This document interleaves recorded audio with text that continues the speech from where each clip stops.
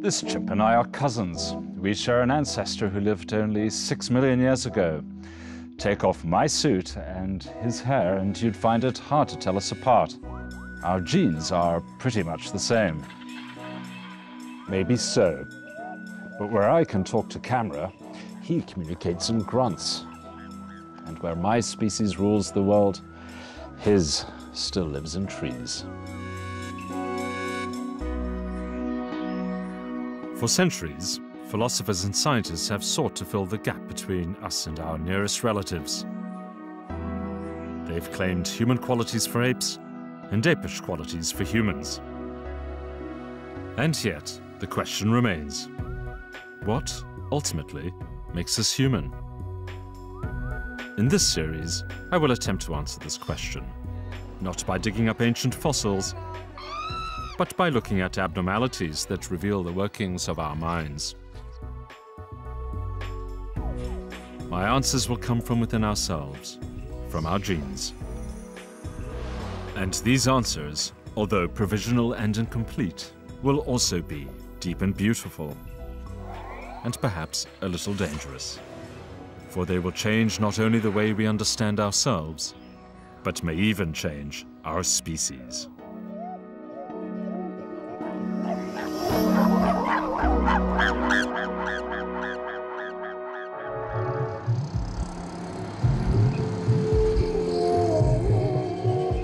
Where do we come from? Where are we going? The history and the future of our species seems so opaque to us. And yet, there are some disturbances in nature. Some errors that open a window beyond the present. And that's why I've come to Pakistan, to the Punjabi city of Gujrat. I've come here to meet a remarkable woman.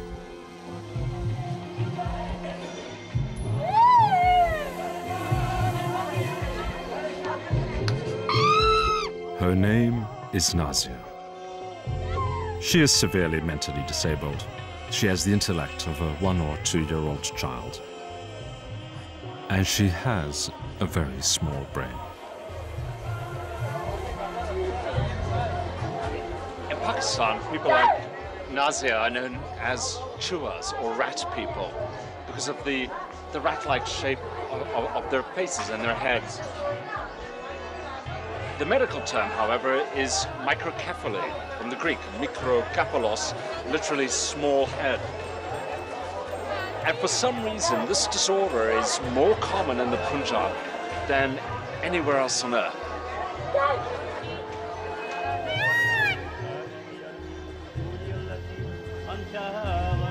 One explanation can be found at the shrine, the tomb of Shah Dullah, a 17th century Sufi saint. Local tradition credits him with the gift of curing infertility. And barren women still come here, hoping that the saint will help them conceive. But, so the story goes, there is a cost. The first child born will be a microcephalic and must be dedicated to the saint. Chuas are, as it were, the price of divine intervention.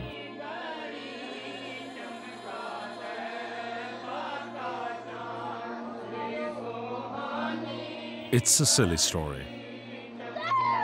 The idea that Nazia has been cursed by a Sufi saint has, from a Western point of view, a distinctly medieval flavor.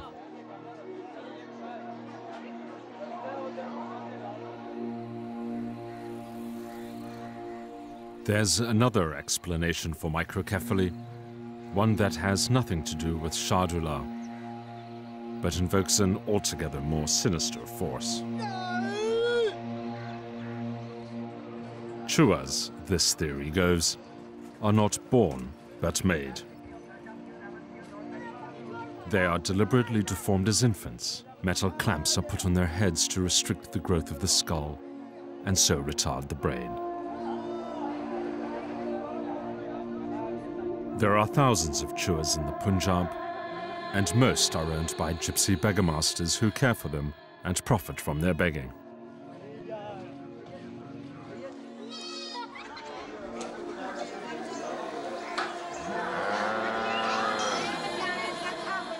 Here, in the encampments where they live, it's easy to believe that chuas are being deliberately manufactured by a gypsy mafia. And yet, however plausible the bonsai theory of microcephaly may seem, it's simply not true.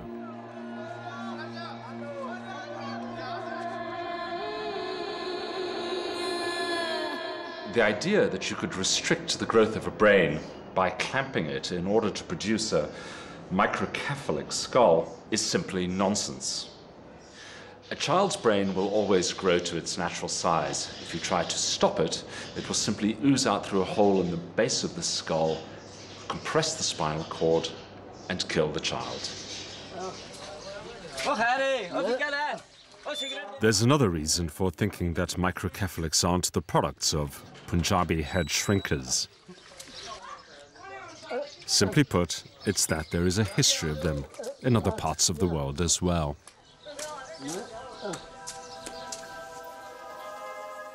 In the 19th century, microcephalics were a staple of European and American circuses.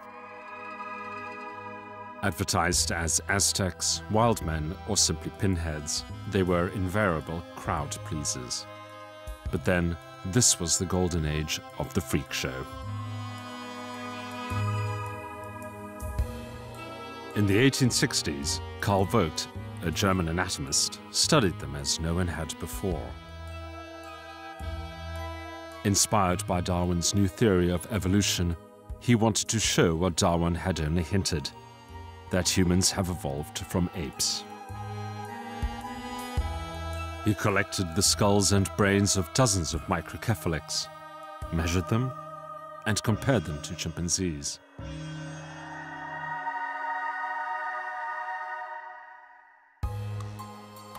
He argued that microcephalics were a kind of evolutionary missing link. Not ape, not human, but something in between. Vogt's reasoning was straightforward. Humans have big brains, apes have small brains. Microcephalics are humans with small brains. They must be atavisms, throwbacks to an ape-like condition. He even called them Affenmenschen, ape people. It's an ugly term, and it's wrong. Microcephalics are human, as human as you or me. And when inevitably Vogt's theory was discredited, microcephalics slipped into scientific oblivion.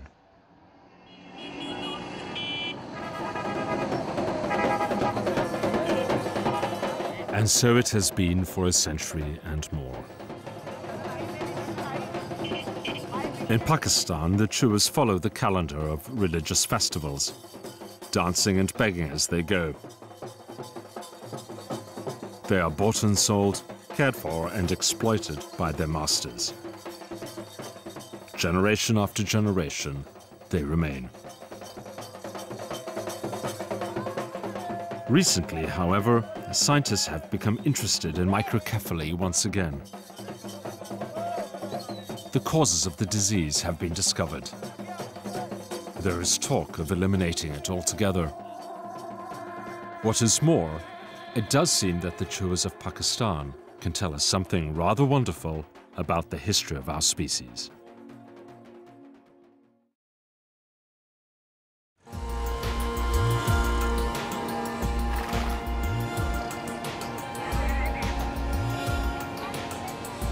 Today, Pakistan is home to the largest concentration of microcephalics in the world. Known as chuas, literally rats, the cause of their disorder has long been mysterious.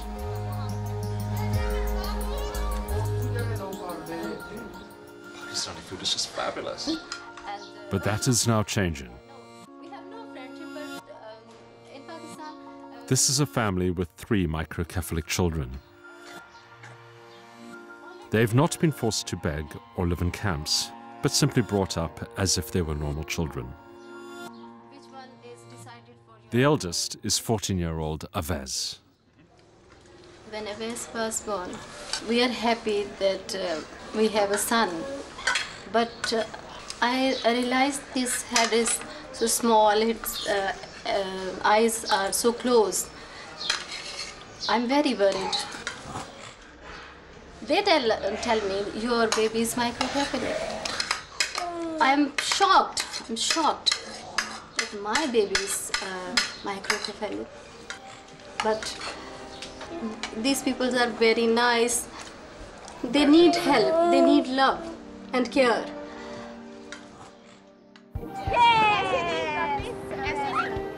Families like this have transformed our understanding of microcephaly.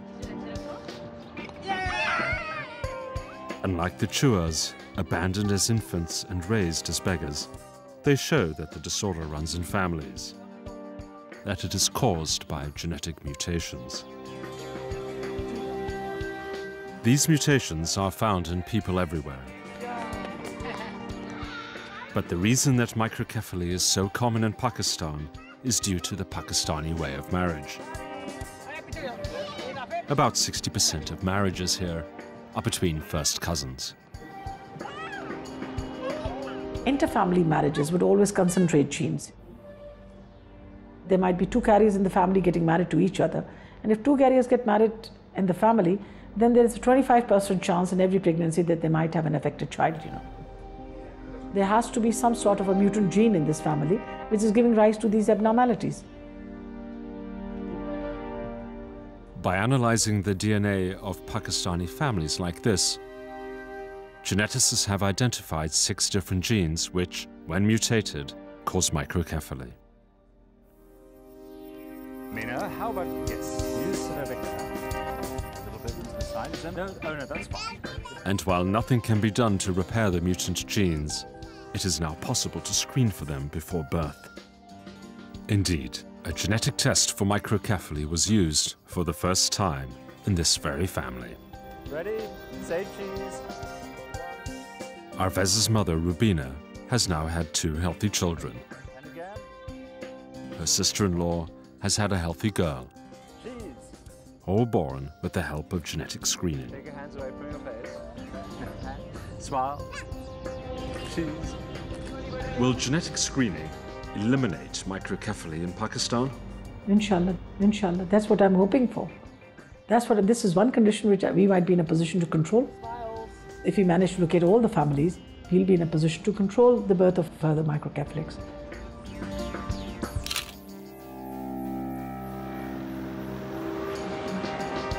But this story is far from over. The discovery that microcephaly is a genetic disorder has enormous implications for the understanding of human evolution.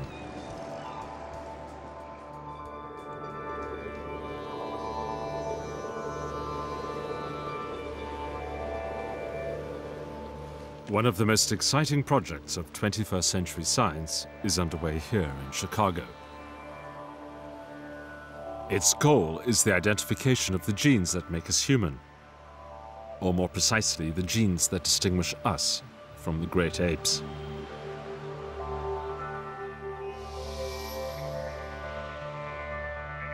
The project has been led by geneticist Bruce Lahn. We are remarkably similar to chimps at the DNA sequence level. But obviously, biologically, we're very different.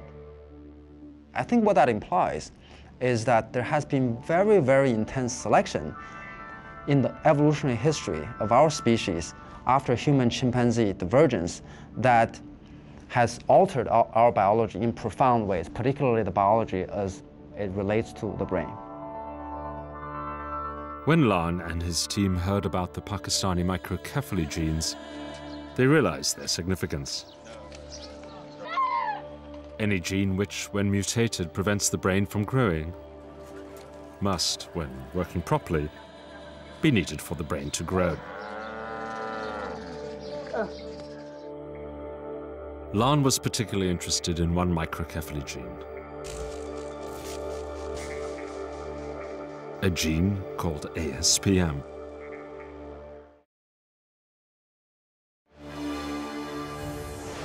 Our organs grow as the cells within them divide and multiply. The cells that drive brain growth are called neuroblasts. The ASPM protein hair colored yellow, is needed for their division. It helps the cell's chromosomes find their way into daughter cells. We examined the evolution history of this gene in primates and also a large number of other species, and we saw that there's a very dramatic acceleration in the rate of evolution of this gene, specifically along the lineage leading to humans, suggesting that this gene is doing something to the brain that would make the brain perhaps bigger and more complex.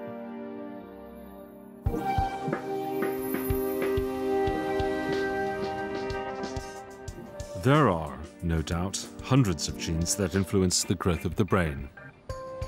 But ASPM is special. It's an ancient gene. Found in all animals, it's probably a billion years old.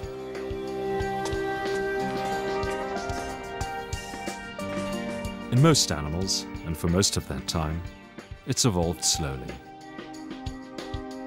But not in the recent history of our species.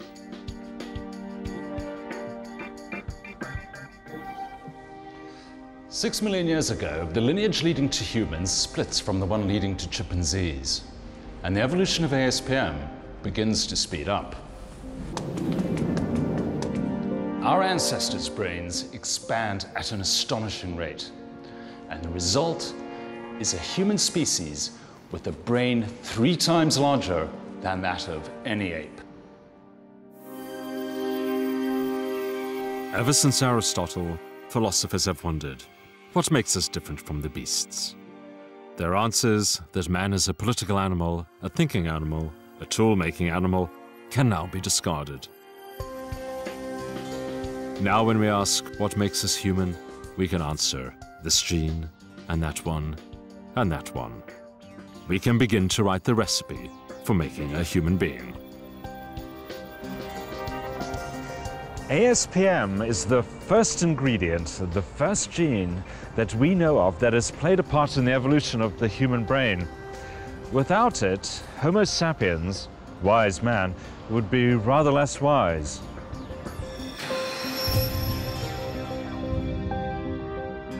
But what sort of brain has ASPM helped produce? This is a human brain. It is said to be the most complex thing in the universe, and perhaps it is. But more importantly, it is, or at least was, the source of every hope, thought, and memory that its original owner ever had. When you look at a human brain, what strikes you is its size. Here, by way of comparison, is the brain of a pig. Now, adult humans and pigs have bodies which are pretty much the same size, but the difference in the size of their brains is immense. But to really understand what makes the human brain special, you have to cut it up.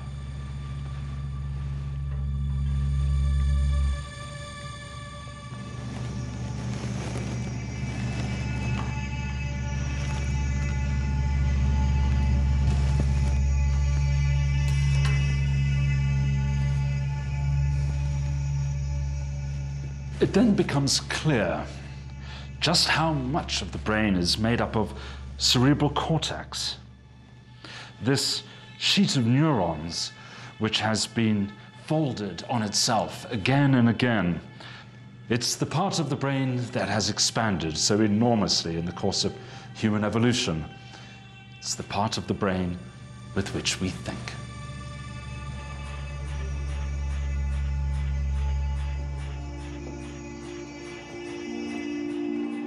There's another, more sophisticated way to see the structure of the cerebral cortex.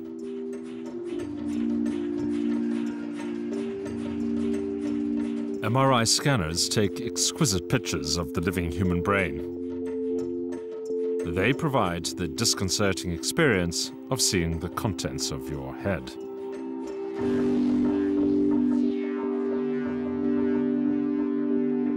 This is a mathematical dissection of your brain. And this particular slice is showing your frontal cortex, just as if we took a knife and sliced through your head and brain and are looking straight on on this slice. And we can see the cerebral cortex and the gray matter around the edges, and we can see the white matter, which are the bundles of nerve fibers that connect the gray matter areas to each other. So it seems like there's quite a lot of grey matter and white matter there. Quite a big looking brain, I'd say. Yes, uh, the, uh, the combination of gray matter and white matter is very important, and one without the other doesn't do you much good. But, I mean, there's a lot of it compared to most other people, right? If you're trying to get me to say that this is the best brain I've ever seen, I'm happy to say that. Oh, that's, that's very kind of you, Richard.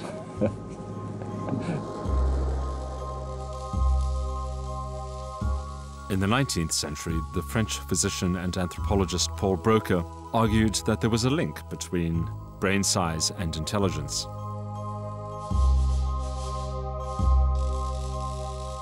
He brought new precision to craniometry, the science of measuring skulls. Using lead shot, he estimated the volumes of hundreds of skulls, hoping to prove that great scientists, writers, and politicians had particularly large brains. Not everyone agreed.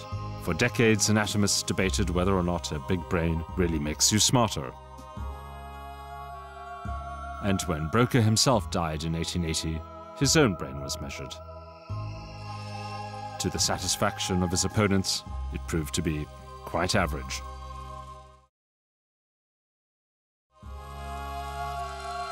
In the 20th century, Broca and his fellow craniometers became radically unfashionable. Their conviction that brain size had something to do with intelligence was deemed elitist, sexist, racist. Maybe so. But was it wrong? In the 21st century, MRI technology has allowed psychologists to re-evaluate Broca's claim. I want you to make your blocks look just like the one pictured here. Go. Dozens of studies have shown that, all other things being equal, people with larger brains have higher IQs. Big brains really do make you smart. Even if you believe that IQ scores aren't a perfect measure of intelligence, Done. And I don't think anyone argues that they are a perfect measure of intelligence, they are an indication, a summary, if you will, of the overall pattern of a person's strengths and weaknesses cognitively. And really, it's now very well established that there is a relationship between whole brain size and general intelligence. Done. Is this random? I don't think that's likely. Done. Repeat these numbers after I finish saying them. Seven, nine, three, Of course, intelligence isn't only a matter of brain size. Seven, nine. The way our brains are wired up, the speed at which they work, even the relative size of different areas, all affect intelligence as well. Five, eight, one, nine, mm, two, six, four, seven.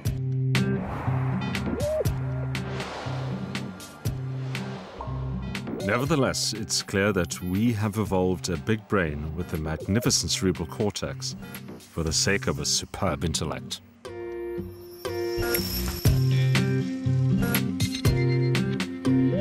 But the question remains what exactly is that intellect for? The answer is rather surprising. It involves sociopathic youths, fundamentalist Christians, Don't stop it! Kill me tomorrow, but let me and Shakespearean murder. But while I say one breath... It's too late! Chimpanzees are our nearest living relatives. Genetically, we are startlingly similar. Our genome sequences are 99% identical. But in the last six million years, their brains have hardly grown, while ours have trebled in size. Why? What exactly are all our extra neurons for?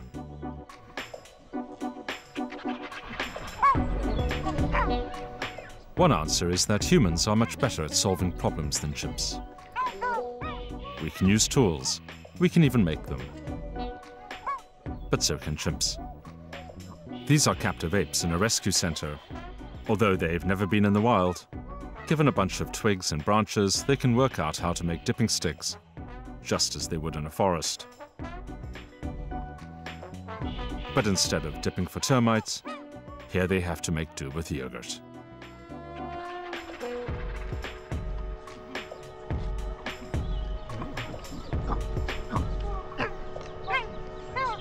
They're quite impressive for chimps, which qualification simply highlights how much better we are at manipulating the physical world. But there's another way in which we are smarter than chimps. One that's more surprising and perhaps more important to our evolution. We are better at lying and cheating than they are, but also at empathizing and making allies. We have social skills that are so much part of our daily lives that we do not notice them until they've gone.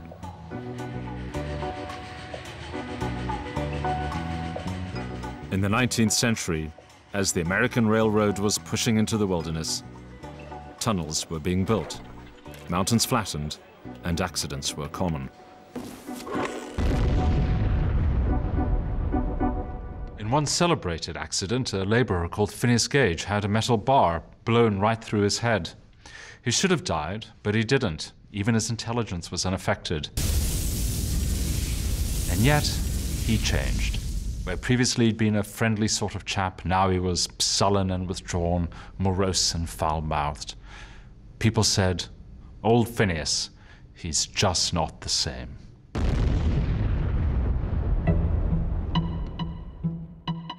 The strange case of Phineas Gage was a landmark in the history of neuroscience. Here, for the first time, was evidence that particular parts of the brain control social skills. As the metal bar passed through Gage's brain, it damaged an area known as the prefrontal cortex. That part of the brain has certain sectors that are very related to how you connect with others, to how you solve uh, social problems, uh, and that part also happens to be very much connected to the regulation of emotions, especially a range of emotions that we can call social emotions. The idea that the prefrontal cortex regulates social behavior became the rationale for a new operation. Transorbital lobotomy is a simpler approach to the frontal. In the 1940s and 50s, American neurologists performed thousands of transorbital lobotomies, surgically mimicking the injury experienced by Phineas Gage. This is a boy of 19. He heard voices accusing him of abnormal sexual practices and believed he was the second coming of Christ. Here he is shown a day before transorbital lobotomy. Transorbital lobotomy was performed on August 1st. Within a few days, the patient resumed playing the saxophone. Given that the prefrontal cortex affects social behavior, presumably there was a logic to doing these lobotomies. Of course, there, there, there was a logic. It was, in, in fact, a perfectly brilliant uh, and uh, still valid logic. One can question the way many of those operations were done, but the logic was perfect.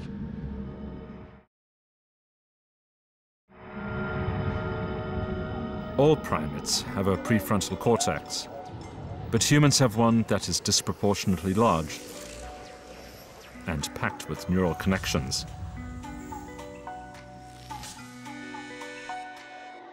As a result, other primates simply don't have the social skills that we humans take for granted.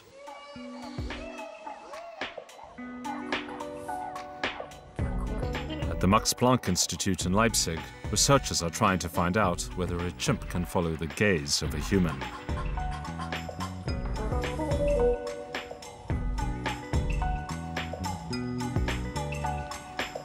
It looks simple, but for the chimp to pass the test, it must understand that the researcher is drawing his attention to something. In a very basic way, the chimp must read her mind. So far, so good. But what happens when the test is made a little harder? Another researcher shows the chimp a grape and then hides it under a cup.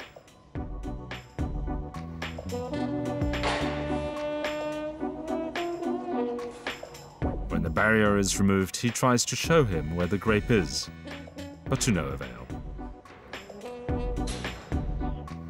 Chimp doesn't understand that the researcher is trying to help him. He doesn't understand his intentions.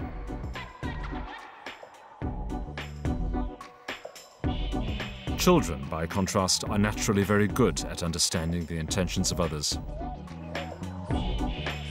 Here, an adult researcher is oblivious to a puppet show. Perceiving this, the child tries to attract her attention.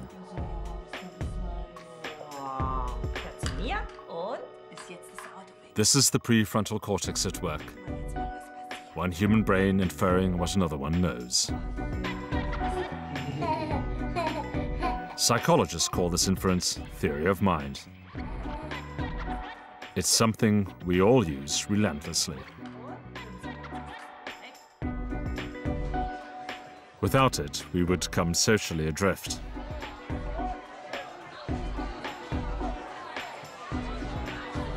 If you're going to interact with others, you need to decide on whether or not what people are doing is in fact what they mean, whether they can be trusted or they're lying.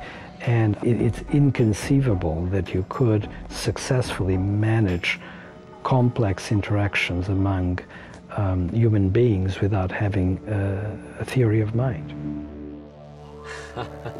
My noble lord. What dost thou say, Iago? The best way to appreciate how theory of mind works is to turn to drama. First to last, what dost thou ask? But for a satisfaction of thought, no further. Virtually every Shakespearean play hinges on the way characters understand and misunderstand each other's intentions. Oh, yes? And went between us very oft. Indeed. Is he not honest?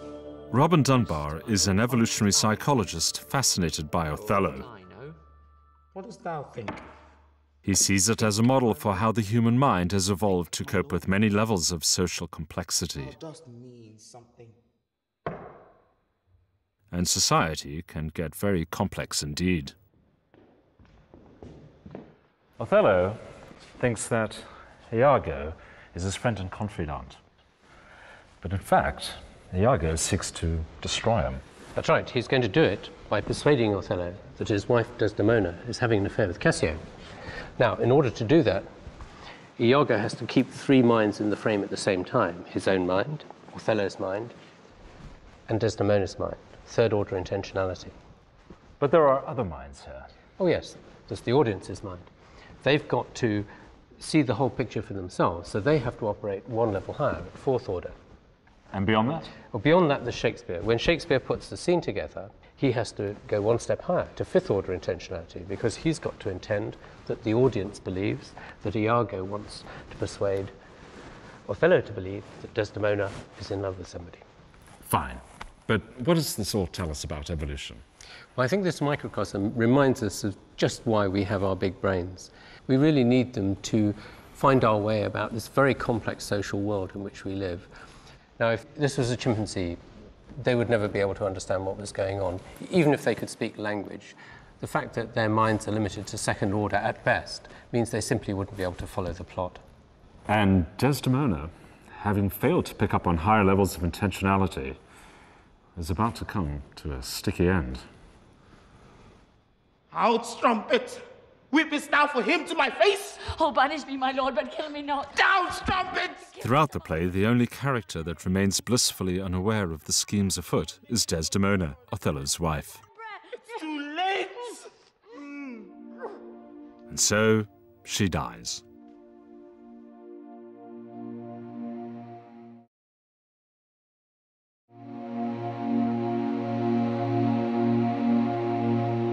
The idea that our brains evolved to cope with the complexities of social life is an intriguing one. And it's one written in the history of our skulls.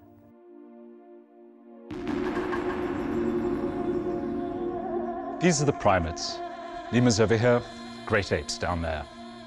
They've been arranged in terms of the size of their brains, small to large. But what's really interesting is that had we arranged them in terms of the size of the social groups in which they live, the order would have been much the same. The bigger the brain, the bigger the social group. So what about humans? Well, if this relationship between brain size and group size holds for us too, then we should live in groups of about 150.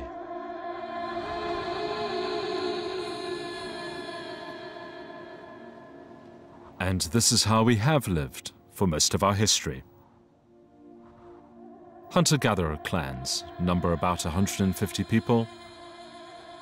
So too, before the Industrial Revolution, did a typical English village. These days, however, you have to travel to places like the Badlands of Montana to find communities that are still the size for which our brains were designed.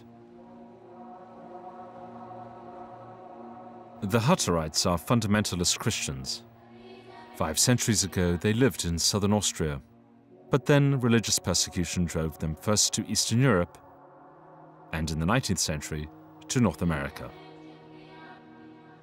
Wherever they've gone, they've lived in splendid isolation, shut off from the outside world in their own self-sufficient communities.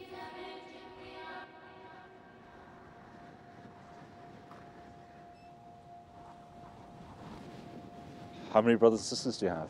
I have four sisters and one brother. Six in all. Yeah. It's a big family. Yep, it's fairly big, and the, the oldest is 26 and the youngest is 9. How many cousins do you have? I don't know for sure. 50. 50 cousins? uh huh, I'd say.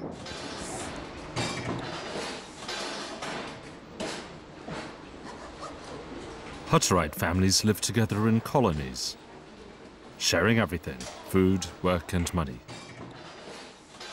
You could call them Christian communists.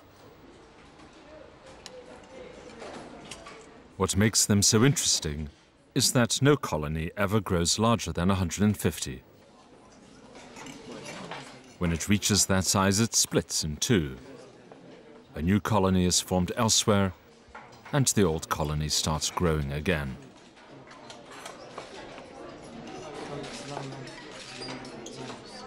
If, if you got too many people, you can't control them.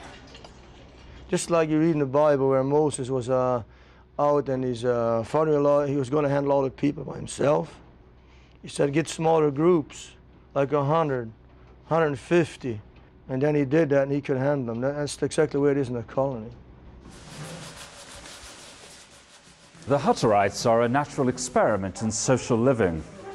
They could live in groups of any size they pleased, but they seem to find communities of about 150 people just right.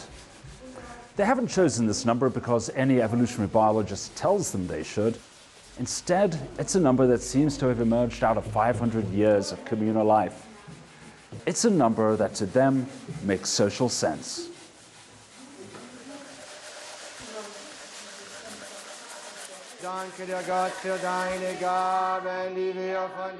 The Hutterites' way of life seems impervious to the modern world. They do without television, radio, or the internet. They don't read novels or newspapers. They find all the intellectual stimulation they need in religion.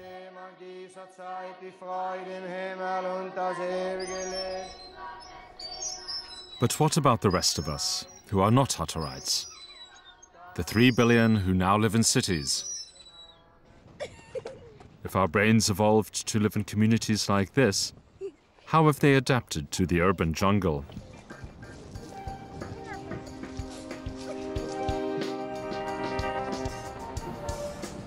Is it possible that our brains are still evolving?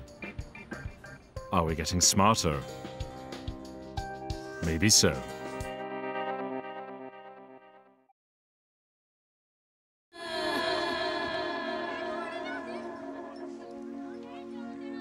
Six thousand years ago, human history was changing course. Across the fertile plains of the Middle East and Southwest Asia, people were becoming farmers. Instead of hunting and gathering their food, They were now growing crops and rearing animals in much the same way as peasants in Pakistan do today. The consequences of the farming revolution were immense. With more food, more people could live from the land. Villages became towns. Civilizations were born. That's an old story familiar to any student of ancient history. But what's new and really remarkable is the recent discovery that at the same time, our genes began to change. Among them, ASPM, the gene discovered in Pakistani microcephalics, one of the genes that has shaped the human brain. 6,000 years ago, around the time that urban civilization began to expand, a new variant of ASPM arose and started to spread through the human population. And it spread fast. So fast that it must have been driven by natural selection. It must have been good for something. But what? The suggestion is that it has made us more intelligent. Well, not all of us. This new variant is still working its way through the human population. About 10% of people in the world have just the new variant. 50% have just the old. And the rest of us have one of each. Which raises the question, what about me? Do I have new variant ASPM, old variant, or both? To find out, I need to take a genetic test.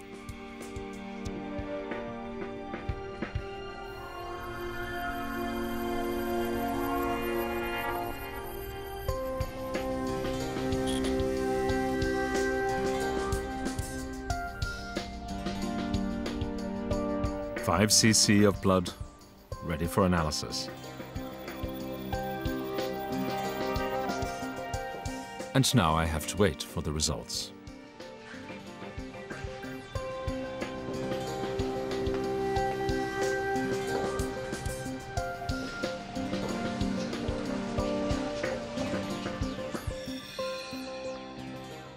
Turns out that you are what we call a heterozygous, which means that of the two copies of the ASPM gene in you, one is the new recent variant, and the other is the ancestral variant. So, right. I don't know if that makes you happier or, or, or less happy, uh, surprised. It's a rather boring result, It is a isn't boring result indeed. I mean, you're telling me that as far as these genes are concerned, I'm just utterly average. You're utterly average, yes. Hmm. Well, it's somehow not entirely a surprise, I suppose.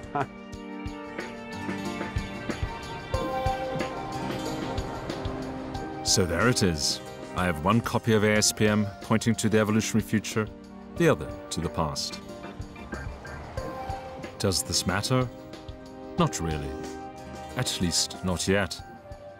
There isn't any evidence that new variant ASPM really does make you smarter. But studies are underway, and we'll have the answer in a year or two. Even if ASPM isn't an intelligence gene, make no mistake, such genes exist. There clearly is a genetic component to intelligence.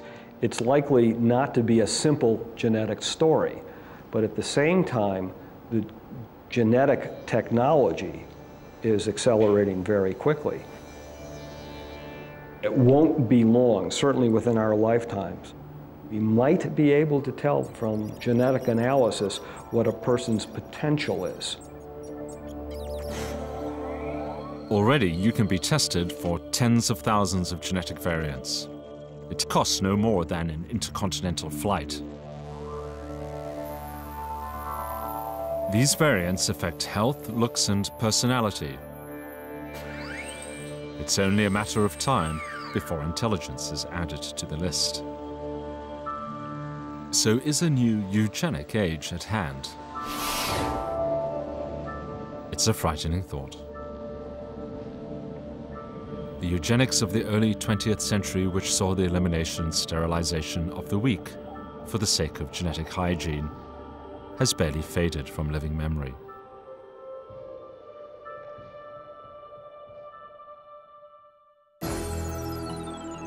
Will it happen again? I doubt it. If the old eugenics was driven by ideology and the state, the new version will be driven by the market. Genetic screening will be an instrument of the competitive society.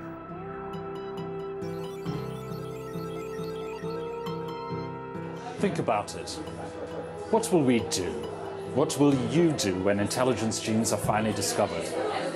The answer must be that employers will want to test their employees, teachers will want to test their pupils, parents will want to test their children, and lovers will want to test each other.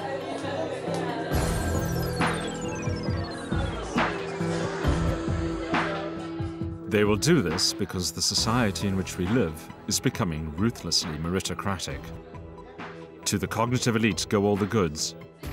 To the cognitive underclass, nothing. And any parent will want to do all she can not to leave the genetic constitution of her child to chance. The first time in history, we will judge each other not by where we come from or how we look or even by what we've done, but rather by the quality of our DNA. After a billion years of evolution, the gale of natural selection that has pushed our intellect so far and so fast is beginning to fall quiet, extinguished by our own technologies. In the next program, I'll be looking at the qualities that have enabled our big brains to dominate the planet. How we became so much better than any other animal at imitation, language, and culture. And at what cost? We are the only animal that defies the evolutionary logic of its genes. And now, we are living with the consequences.